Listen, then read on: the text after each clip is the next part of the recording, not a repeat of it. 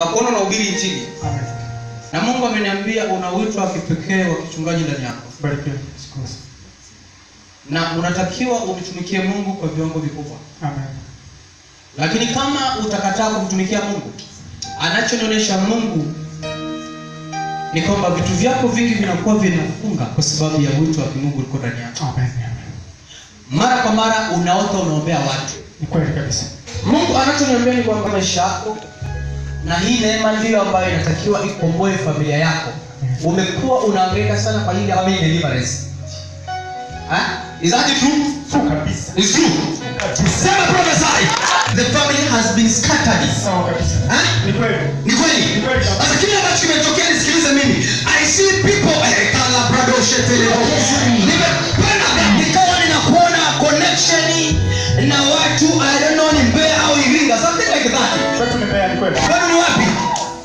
Mbeya? Ndio. Maana nimepanda gari naona Iringa au naona Mbeya.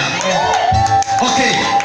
So katika Mungu roho niliona kitu ambacho kilitokea kwa habari ya familia ya upande wa baba yako. Nilikuwa ninaona roho za mitara upande wa baba yako. Na zile roho za mitara watu walikuwa nao wanawake wengi wengi mfululizo. Yes. Sasa kile kilichofanyika babu yako ambaye ndiye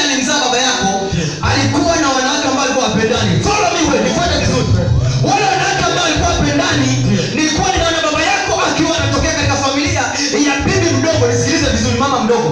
Na kila kitu ambacho kilifanyika kati baba yako anazaliwa, mke mkubwa alikuwa analoga mke mdogo. Sasa nifuate vizuri. Ile familia ambayo iko na sambaratika, ndugu za upande wa baba yako hawapendani kabisa. Sasa kwa sababu hiyo, kila ambacho kinaendelea ni kwamba watu kila siku wanapatiana chuki. Kila ambacho kiliingia kiliingia mpaka katika familia ambayo umezaliwa ndani ya tumbo moja. Kuna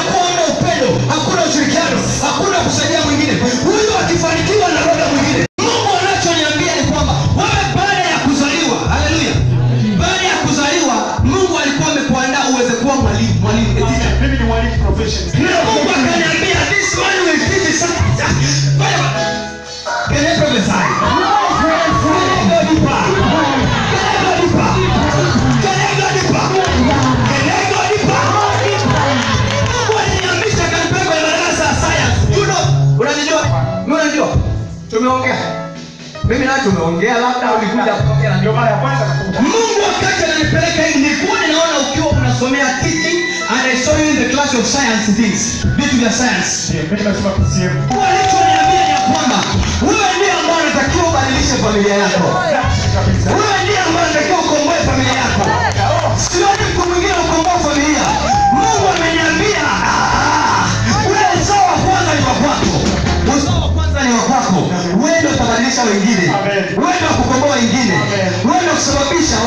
Waliofanikiwa I saw, I saw, I saw a house, niliona nyumba.